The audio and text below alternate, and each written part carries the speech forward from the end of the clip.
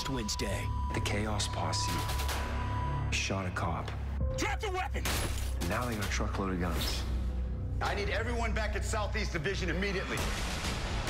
This crew knew enough to pull off a well-coordinated assault. There's got to be a leak somewhere. There better not be. SWAT, CBS next Wednesday.